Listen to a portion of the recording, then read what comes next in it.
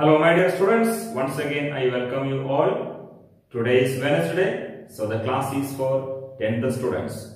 In the previous class, we started the chapter 9 some applications of trigonometry. Also, we did two questions. Today, we are going to continue with the lesson 9 that is some applications of trigonometry.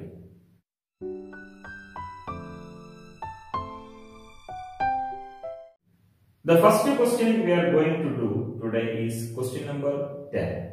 The question is two poles of equal heights are standing opposite each other on either side of a, an 80 meter wide rod. From a point between them on the rod, the angles of elevation of the top of the poles are 60 degree and 30 degree respectively Find the height of the poles and the distance of the point from each pole. So we have to represent the situation using a figure. Here first I show the road of width 80 meter.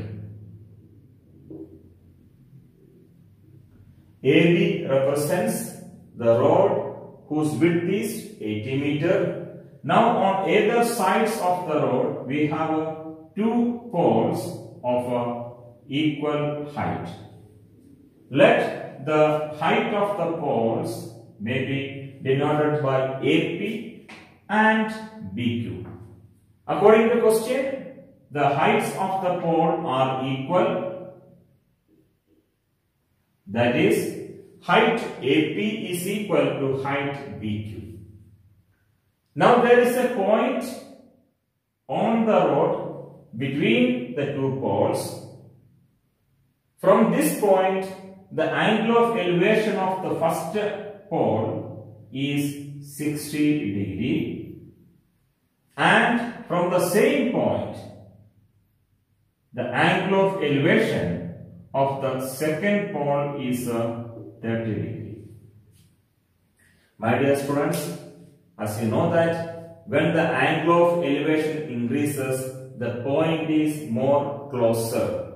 That is, the point, if this point is C, the point C is more closer to the pole AP than that of BQ. Because here the angle of elevation is 60 degree and it is 30 degree. Let this is given angle 1 and this is given angle 2. So, according to question in figure,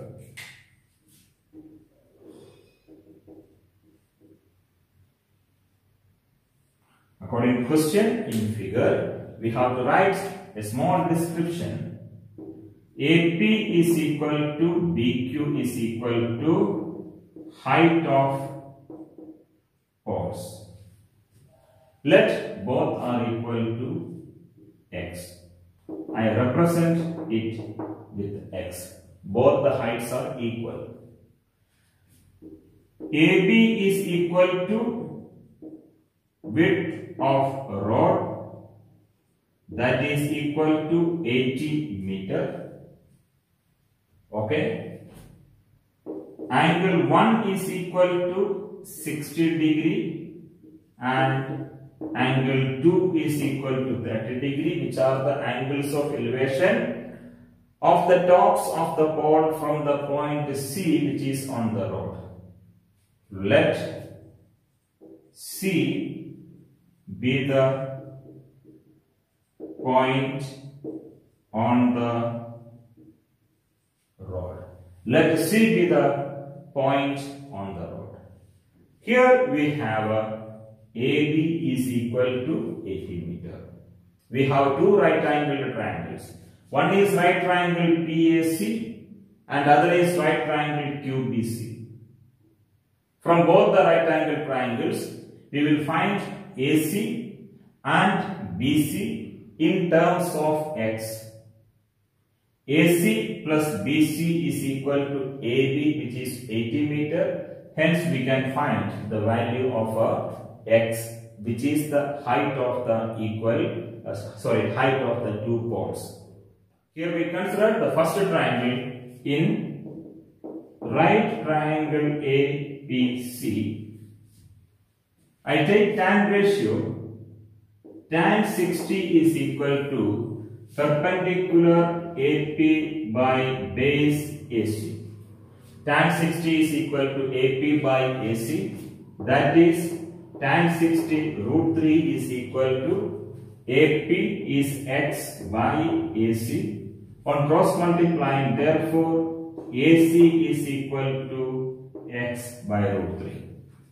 We have AC in terms of x, it is equal to x by root 3. In triangle QBC, in right triangle QBC, similarly we take a tan ratio, tan 30 is equal to perpendicular BQ by base BC.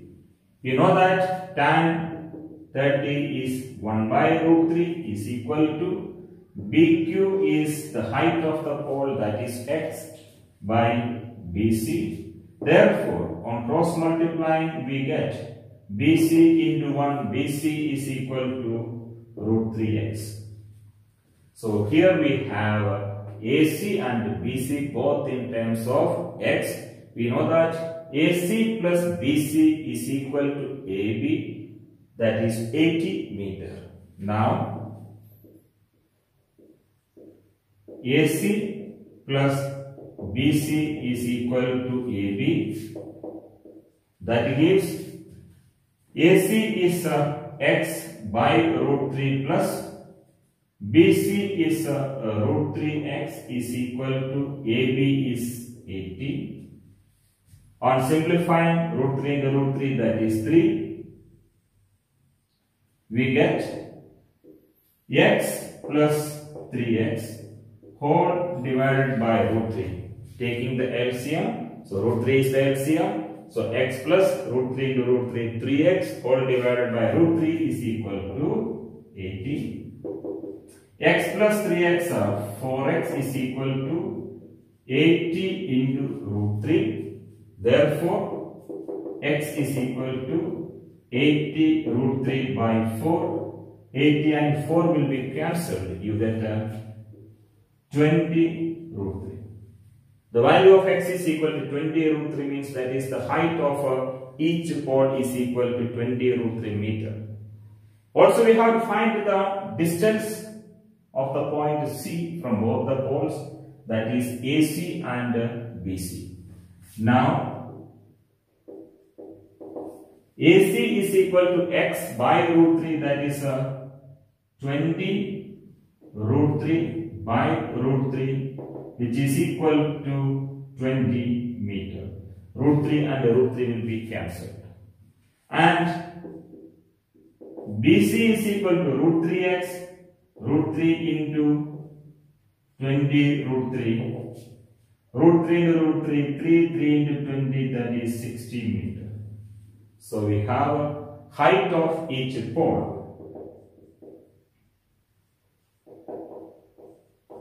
height of the pole is equal to 20 root 3 meter and the distances are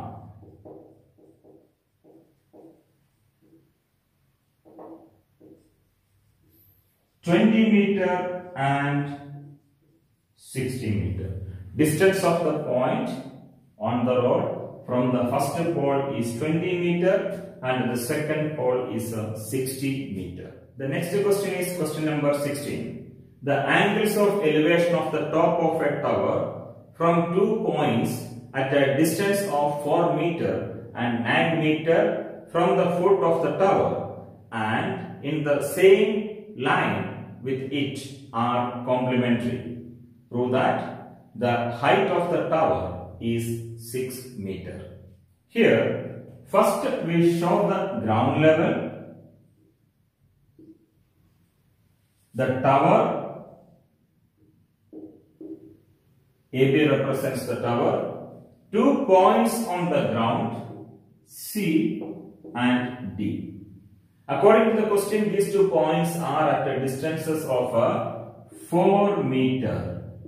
That is, first point C is at a distance of 4 meter from the foot of the tower and the second meter D is at a distance of uh, 9 meter from the foot of the tower. According to the question, the angles of elevation of the top of the tower from these two points, that is angle 1 and angle 2 are complementary. Here C and D are the two points at distances 4 meter and 9 meter respectively from the foot of the tower. According to the question, the angles of elevation of the top of the tower from these two points are complementary. It means that if you add angle 1 and angle 2, it will be 90 degree. So if you take angle 1 as theta, then angle 2 is the complementary angle of theta that is 90 minus theta. Two angles are complementary if their sum is 90 degree. So here if angle 1 that is the angle of elevation from the point C is taken theta then according to the question the angle of elevation from the point D must be equal to 90 minus theta. This is a question involving two right angled triangles in which the height of the tower that is AB is a common side. I will represent the height of the tower AB by the letter H. Now we will use the suitable trigonometric ratio to find the value of H and we will prove that it is equal to 6 meter. According to question in figure AB is the height of the tower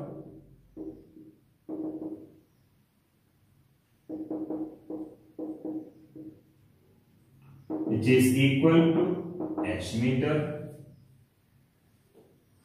C and D are the two points on the ground at distances 4 meter and 9 meter respectively from the foot of the tower. Foot of tower B. Therefore, BC is equal to 4 meter and BD is equal to 9 meter. Let